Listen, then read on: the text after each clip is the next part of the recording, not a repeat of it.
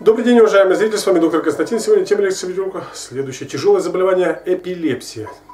Насколько она тяжела? Она поражает головной мозг. Так нам преподают. Но здесь можно поспорить с западной медициной и сказать все-таки, что человека настигает то или иное состояние, которое не может объяснить. Этот приступ проявляется в форме эпилепсии. Но человек не может объяснить этот приступ у каждого человека, страдающим эпилепсией, либо припадками эпилепсии, вот, приступ по-своему проходит.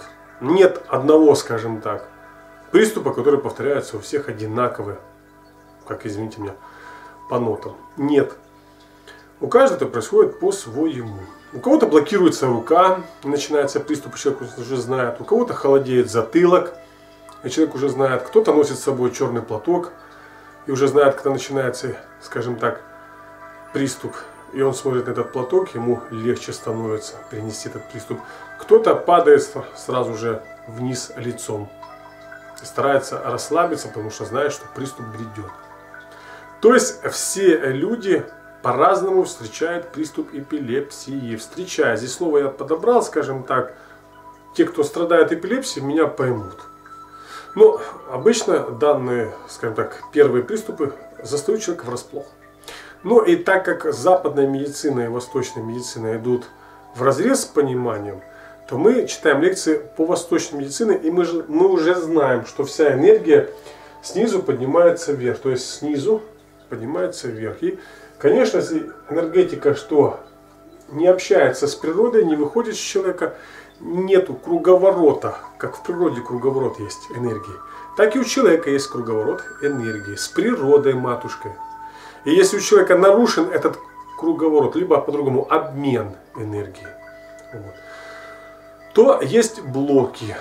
Эти блоки поможет нам снять точка VG20 Байхуэ. Тем самым, что работая с этой точкой, мы можем успешно лечить ту болезнь под названием, которая называется эпилепсия. Конечно, здесь следует подчеркнуть и сказать, что нельзя только одними точками помочь при эпилепсии. Также очень хороши народные средства, но поверьте, акупунктура зарекомендовала себя на отлично при всех формах эпилепсии. Здесь важно сказать и подчеркнуть следующее, что при эпилепсии одними, точка, одними только точками пользоваться будет неразумно. Почему?